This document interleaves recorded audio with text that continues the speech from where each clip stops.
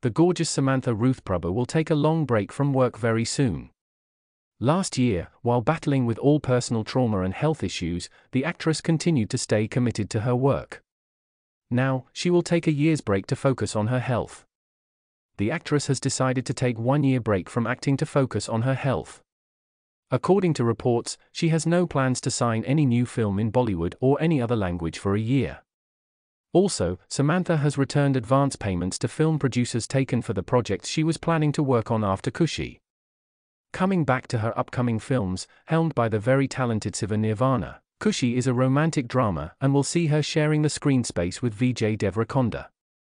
The film is ready to be released on the 1st of September 2023 in all languages. On the other hand, helmed by Raj and DK, Citadel India is expected to release in September 2023 on Amazon Prime Video. However, there is no official announcement.